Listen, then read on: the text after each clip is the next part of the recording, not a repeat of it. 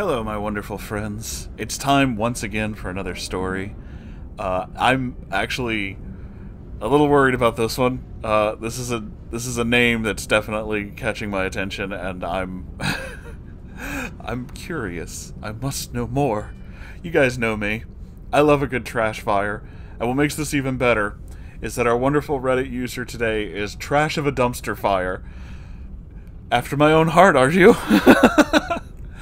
this is Yandere Dumpster Fire, the worst anime adaptation of all time. I have so many questions.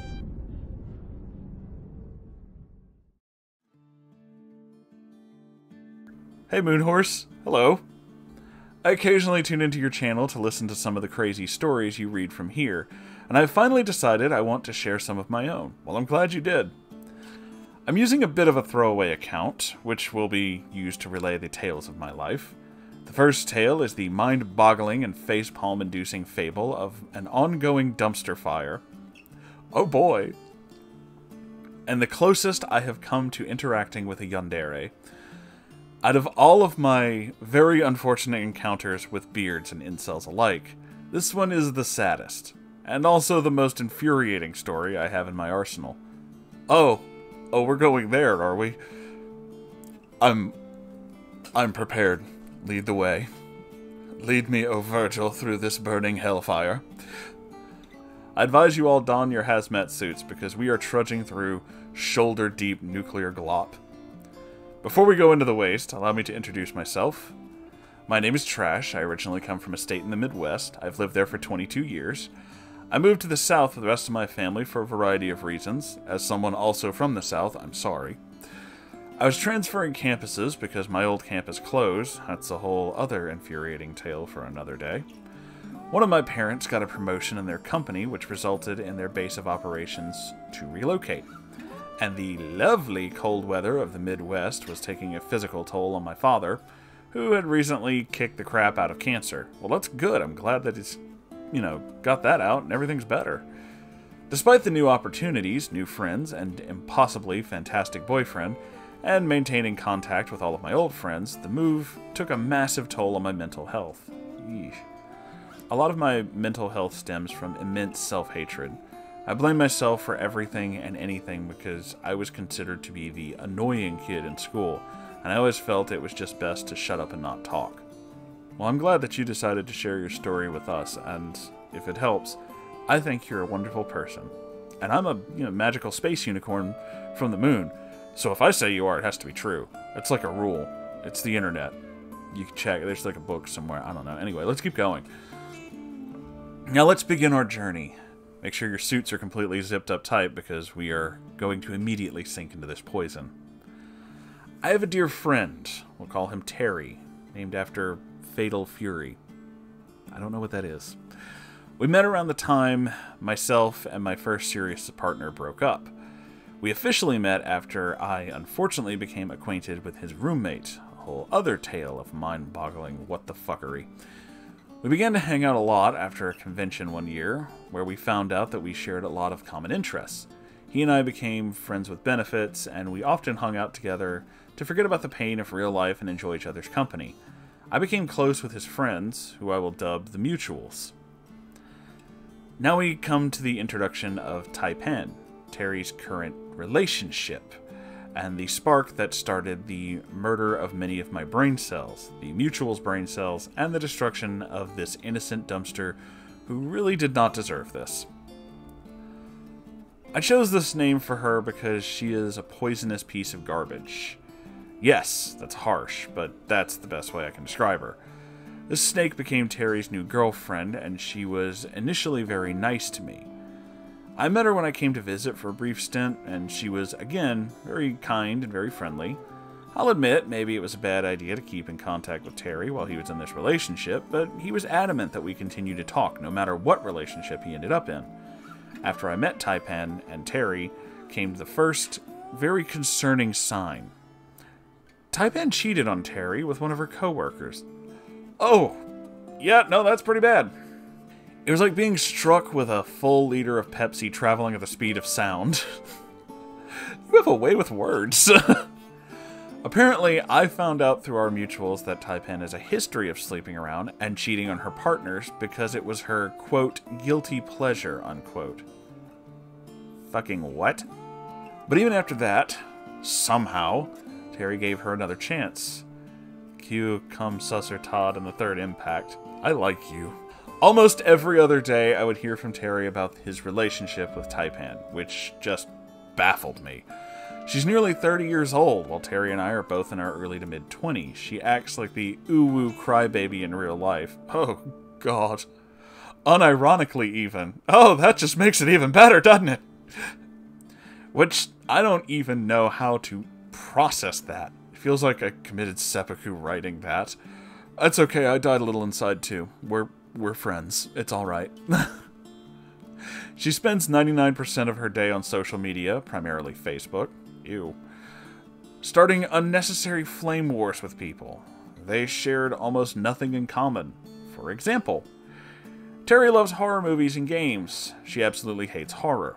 Terry loves shows and animes with intrigue and interesting characters, while Taipan binged isekai, a genre Terry absolutely despises due to the stale formula. And Moonhorse does not know what that means. Don't explain it in the comments, I'm not going to read it. They don't even like the same kind of music. Their sex life is highly unsatisfactory for both parties, according to Terry. Taipan can't last a minute, let alone 10 seconds, and Terry would be frustrated, unable to get off, and if he found alternative ways, she would go absolutely ballistic on him. Yeah, that's pretty unhealthy. That, that's a lot of bad, uh, bad shit right there, my friend. They got into fights every other day, or so it seemed, and I was often the person Terry would go to after these quarrels. She would get mad when Terry didn't want to stay with her and watch stuff that he didn't like, or if he wanted to go hang out with his other friends. She threw temper tantrums over him wanting to just hang out and talk with his other friends. Here's where I admittedly made a large mistake. I suggested to Terry that perhaps the both of them needed time apart, as I was afraid this was going to turn into the current situation. Turns out, I was not the first person to suggest that. The mutuals had suggested it multiple times to get distance, with some saying to completely cut Taipan out of his life. According to Terry, Taipan had developed this incredibly unhealthy attachment to him. He was apparently the, quote, best partner she had ever had in bed and in general. And me being around, memeing around with him like normal friends would, triggered her to go full yandere. One day, Taipan told me that Terry thought of me as a burden, and knowing full well what my mental state was, I was devastated.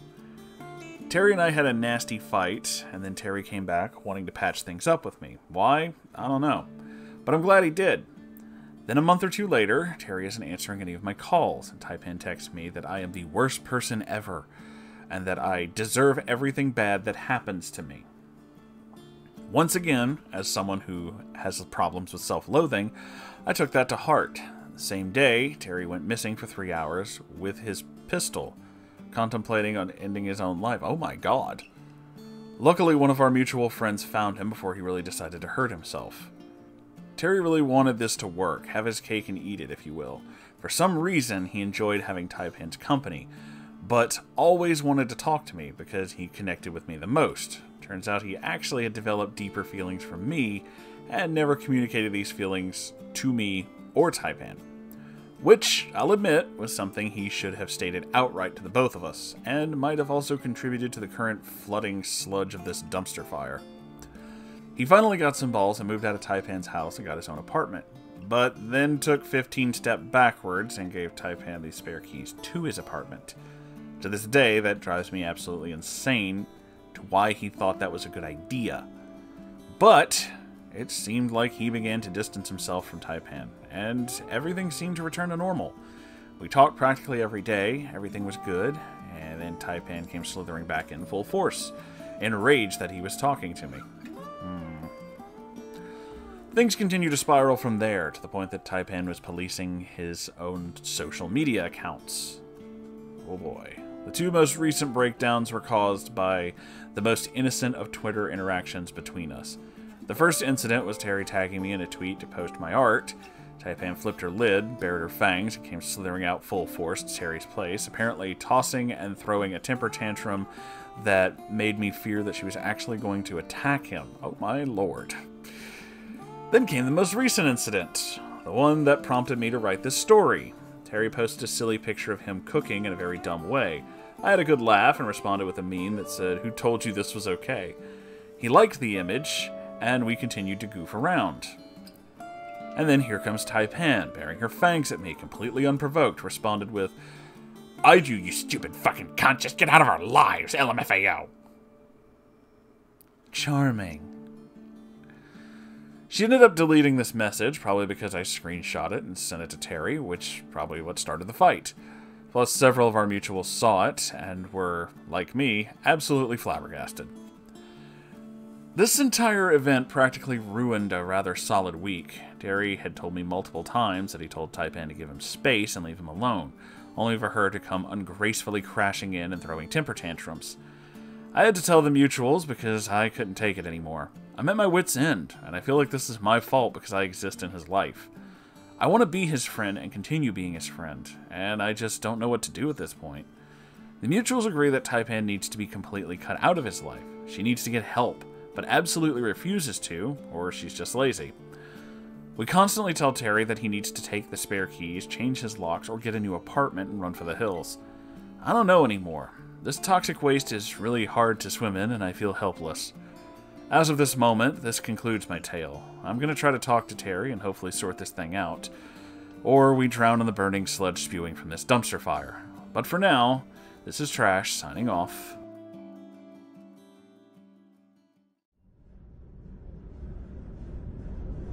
Whew, boy. That is, uh, that is a hell of a tale, my friend. First off, you should know that everybody makes, you know, whatever little mistakes, but from what I can tell, you haven't really done anything that awful or anything that would make me or anyone else, I'm sure, think that you're some kind of a bad person. You're not. You're trying to interact with a friend, a friend that you. I don't really know your feelings exactly upon this friend, but it does seem like you're actually kind of growing closer. It seems like the problem here, to me, and, you know, this is just me, the problem, it seems to me, is that those two don't really know how to just deal with separation. It seems like they're attached because at first they may have had feelings for each other, and they may have been really strong. And after, you know, getting closer, getting more intimate, realizing they actually don't have nearly as much in common as they thought they did, that this is basically turning into a feeling of I just don't want to be alone.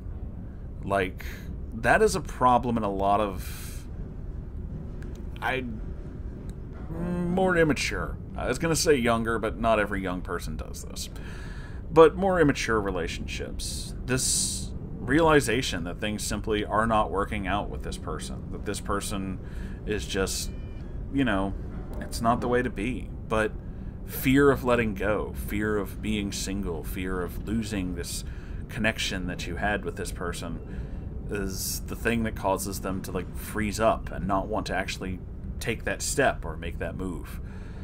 And yeah, that is a problem. It leads to really toxic, unhealthy relationships, which it sounds like what's going on here. Uh, he definitely is not, like, I guess realizing or refusing to realize the level of really not cool behavior that Taipan is doing. That's super weird. Especially for someone who's like around my age. Like, at this point, you should be an adult. At this point, you should know better for a lot of things. Some people, however, don't. I will absolutely admit that. But yeah, this is definitely a worrisome one. So, here's the part where I have to tell you the hardest part of advice. Uh, this is the part where, you know, you may not like your Uncle Moonhorse after this, and that's fine. I understand.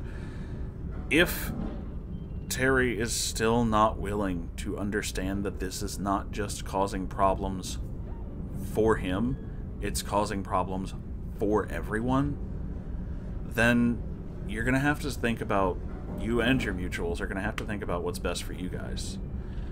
You can, you know, that old saying, you can lead a horse to water, but you can't make it drink. This is kind of that. You're, you're giving this dude every ounce of understanding, compassion, and the repeated, repeated, repeated ways of being like, this is what's going on. This is a thing you kind of have to understand. And he's still holding on to this, which, you know, isn't exactly the best. So, I'm not saying you have to do it anytime soon. I'm not even saying you have to do it anytime this year. I'm saying that eventually you need to really think about this. Like, really kind of put this in a way that works for you. I've said this a bunch of times, but, you know, nobody else's mental health is your responsibility. You can help, but if they're not willing to actually make the change, they're not going to make the change. And that definitely applies here, too. I'm really sorry to hear that you're having to go through all this, man. I mean, that's like super not fair and it's really fucked up. It, it, hurts losing a friend like that. It hurts having to deal with that kind of shit. I've had neckbeard friends who I had to go through similar incidents, and I mean they were still my friend, so it did suck. But sometimes that's the way life be, homie. Just remember that you are loved, you are wanted, and you are wonderful. And that goes for all of you. You're all wonderful, wonderful people, and I love you so very, very much. So, you know, standard YouTube outro stuff like, comment, subscribe, Ko-Fi, merch store, whatever. And your own story if you want to send it in. Subreddit. All those links are down there. Take care of yourselves, everybody. And I'll see you in the next one. Goodbye.